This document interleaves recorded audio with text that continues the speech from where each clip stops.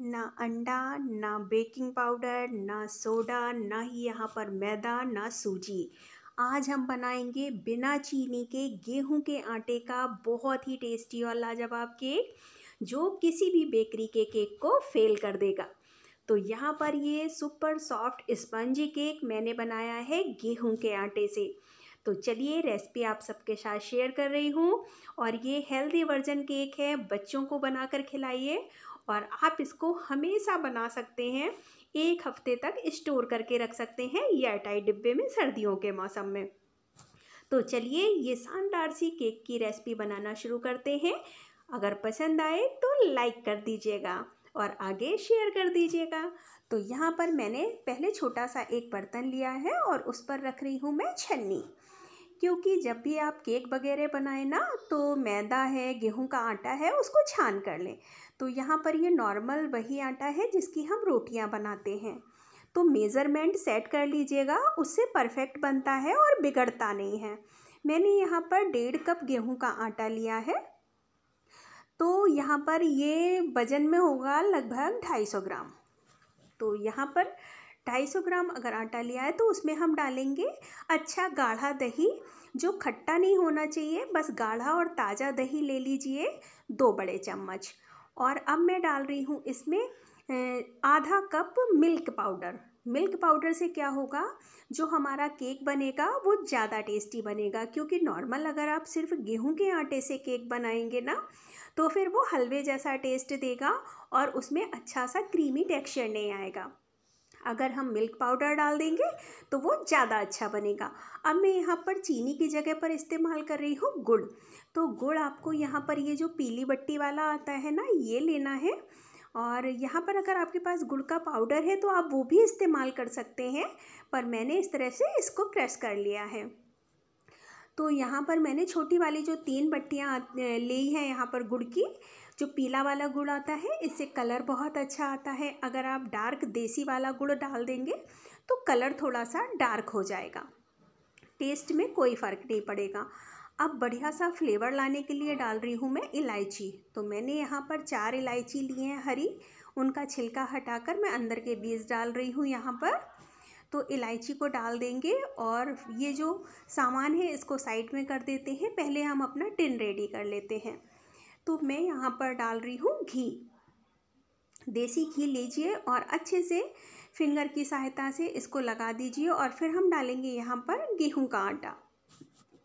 आप मैदे को भी डस्ट कर सकते हैं और इस तरह से अच्छे से टिन को हमें रेडी कर लेना है। अब हमने यहाँ पर जार लिया जिसमें हमने गुड़ डाला था, उसमें डाल रही हूँ मैं घी। मैंने यहाँ पर देसी घी लिया है जिस चमचे से जैसे हम दाल सब्ज़ी परोसते हैं ना, उससे दो चमचे भरकर, मेल्ट घी मतलब दो चमचे मेल्टेड घी लिया है। अब जो हमने मिल्क पाउडर और गेहूँ का आटा लिया था ना, उसको यहाँ पर डाल दिया। अब थोड़ा थोड़ा सा दूध हम ऐड करते जाएँगे और इस बैटर को हम अच्छे से मिक्सी में चलाएँगे। अगर आप इसको फेंटेंगे तो बहुत टाइम लगेगा आपको और उतना फ्लपी नहीं बनेगा।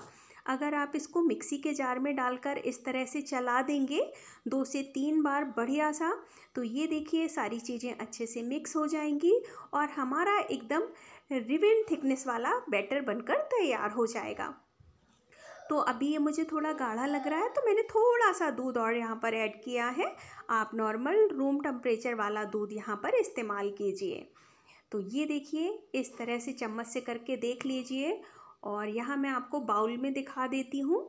बैटर गिर रहा है और नीचे मिक्स होता जा रहा है। अब मैं यहाँ पर ले रही हूँ कॉफ़ी पाउडर। नॉर्मल कॉफ़ी कोई भी सैसे ले लीजिए आप। एक सैसे यहाँ पर मैंने कॉफ़ी पाउडर का डाला है। इससे कलर बहुत अच्छा आता है और टेस्ट एकदम अलग तरह का हो जाता है। मिल्क पाउडर और कॉफ़ी, गेहूँ के आटे के केक में ज़रूर इस्तेमाल कीजिए। कोई नहीं कहेगा कि ये केक, जो केक का बेस है, वो बेकरी का नहीं है। तो यहाँ पर हम क्या करेंगे, हम इसको कुकर में बना रहे हैं। तो इसको हम पहले प्री हीट कर लेते हैं। तो ये बेक मतलब बेकिंग वाला नमक है, मैं हमेशा इसको इस्तेमाल करती हूँ। बच्चे छोटे हैं तो मैं केक वगैरह हमेशा बनाती हूँ घर में।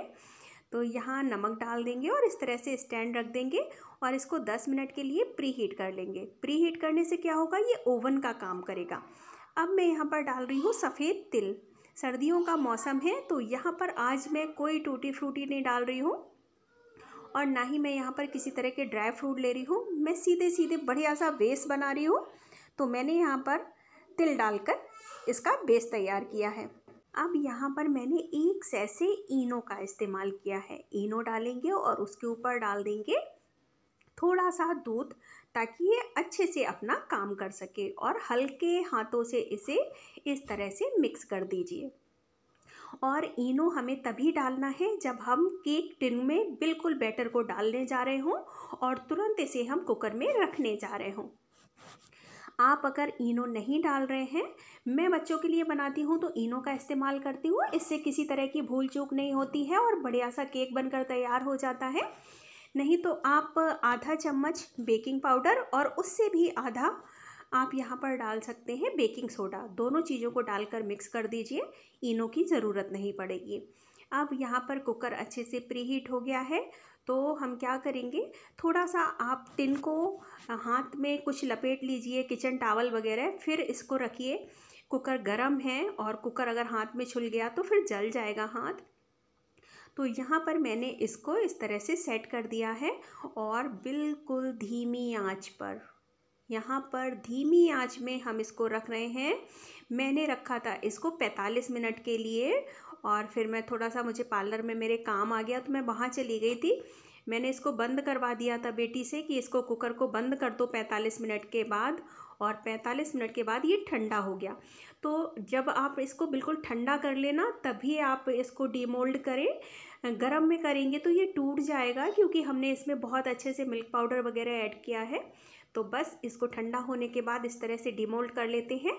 इतना ठंडा नहीं हुआ है, अभी मैं आपको कट करके दिखाऊँगी। ये देखिए टिन से धुआँ आ रहा है। इतना ठंडा नहीं है, लेकिन हाँ इसको हमें ठंडा कर लेना है। कलर आप देख सकते हैं, कितना बढ़िया आया है यहाँ पर और तिल कितने अच्छे लग रहे हैं। तो ये थोड़ा सा किनारियों से ऊपर आ गया, क्योंकि बहुत अच्छे से ये फूल गया था। तो मैं इसकी ये किनारियाँ हटा रही हूँ यहाँ से। और लीजिए हमारा टेस्टी सा केक बनकर तैयार हो गया है। और यहाँ पर इन किनारियों को साइड में रख दीजिए। आप इसको खा सकते हैं, बहुत अच्छी लगती हैं। और यहाँ मैंने एक पीस कट कर लिया है और अभी धुआँ निकल रहा है, यानी कि ये हल्का गर्म है। तो ये देखिए, इतना स्पॉन्जी। कोई कहेगा कि ये गेहूँ के आटे का केक है जिसको हमने घर में बनाया है? कुकर में बिना अंडा के, बिना ओवन के। ये टेस्टी सा केक आप बनाकर ट्राई कीजिएगा। मेज़रमेंट बिल्कुल परफेक्ट है। बस इसी तरह से चीज़ें डालिए। बहुत अच्छा बनता है और खुशबू तो बहुत अच्छी आ रही है किचन में। तो चलिए फटाफट से इसको ट्राई कीजिए। रेसिपी पसंद आई हो तो लाइक और शेयर कीजिए।